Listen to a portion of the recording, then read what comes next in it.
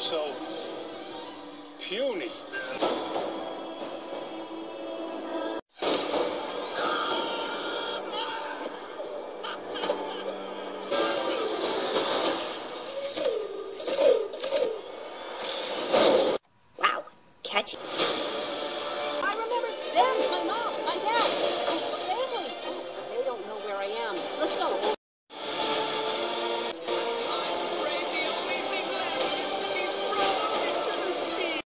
hitting. Can't focus on what's going on.